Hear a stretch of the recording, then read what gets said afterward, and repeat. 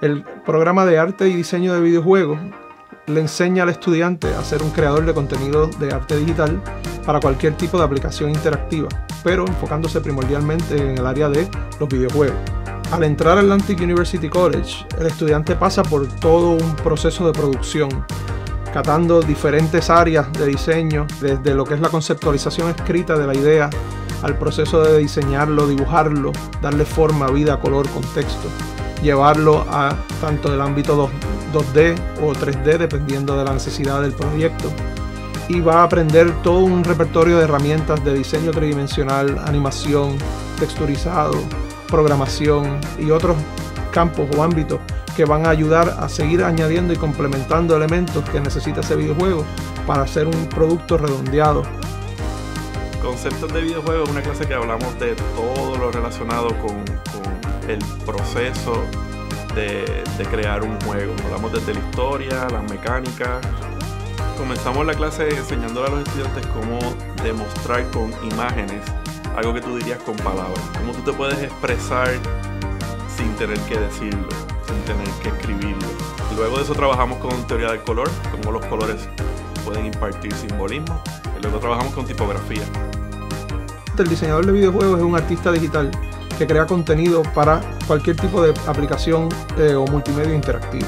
Esta persona está encargada en diseñar la historia, el diálogo, el sonido, eh, los efectos visuales, los personajes, los ambientes, los mundos, las interfaces y la transición de estos elementos hacia un motor de videojuego. Un programador de videojuegos implementa mecánicas, implementa arte, implementa la historia dentro del videojuego. Pero ser un programador de videojuegos es algo bien general y tenemos unas vertientes específicas que nosotros nos especializamos, sea ser programador de UI, que User Interface, o programador de gameplay en diferentes eh, game engines, como lo que es Unreal Engine, Unity, y diferentes lenguajes de programación que también tenemos que aprendernos como C++, C Sharp, JavaScript en general. Y nosotros en nuestros programas le ofrecemos un repertorio bastante amplio de cursos que le enseñan múltiples disciplinas a esos estudiantes que les permiten encontrar su talento y no solamente eso, sino poder utilizarlo de una manera efectiva dentro de uno de estos proyectos.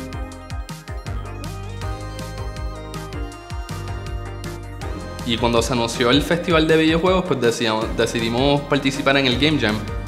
Em, y en verdad nos sorprendimos nosotros mismos porque en el, en el corto periodo de dos semanas lo que sacamos fue un prototipo que se veía cool, se veía lindo y, era divertido de jugar. Em, que es como que la mitad de la batalla, en verdad, que un juego sea divertido. Y ahora mismo pues estamos seguimos trabajando en ese proyecto para publicarlo en, plataformas online como Steam. Una de las clases que más me impactó fue Advanced Texturing and Lighting.